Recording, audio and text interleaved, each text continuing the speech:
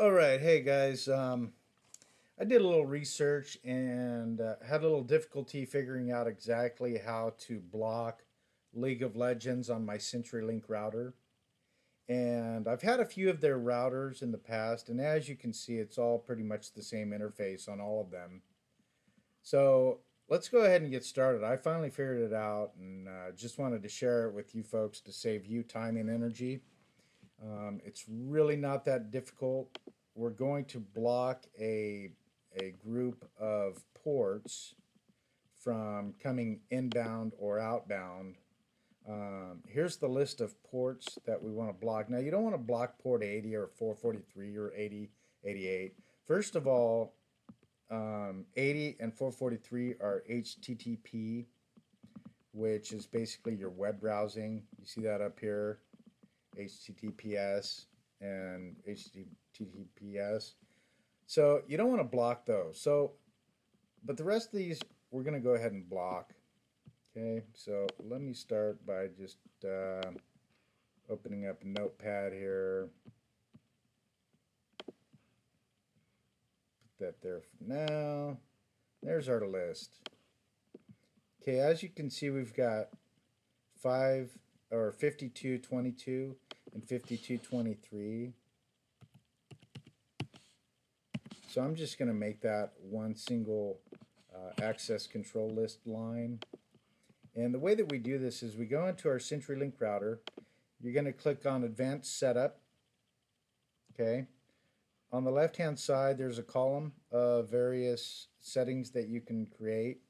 And we're going to go down to Security and then to IPv4 Firewall. Go ahead and click on that. And here's something to take notice of. Services checked are allowed. Okay, so these are all the services that your router is allowing through, uh, allowing packets to come through into your computer or TV or whatever it may be. But we're going to create a rule that adds those ports, and then we're going to uncheck them so that they're blocked.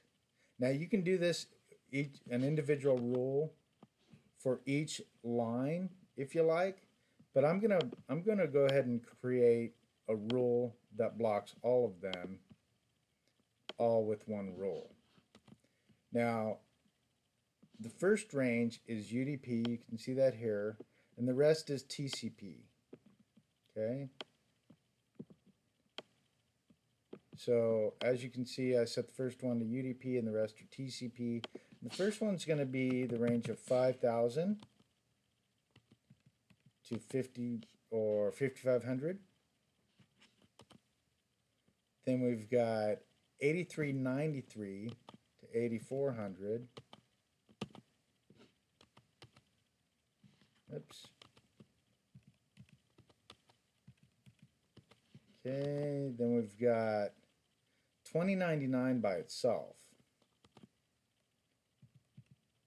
So for the start and the end port, we're going to use 2099. Then for the last one, 5222 to 5223. And then I'm going to apply that. Actually, it's going to bark at me because I need to create a, a service name.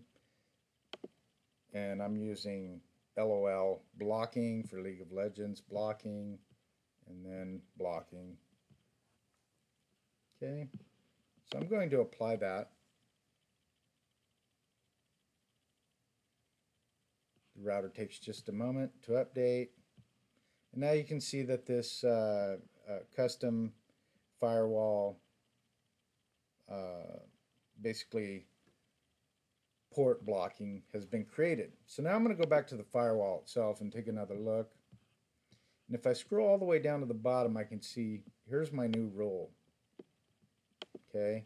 And both inbound and outbound are unchecked, which means don't let it through. Don't accept it. So now I'm going to click apply there.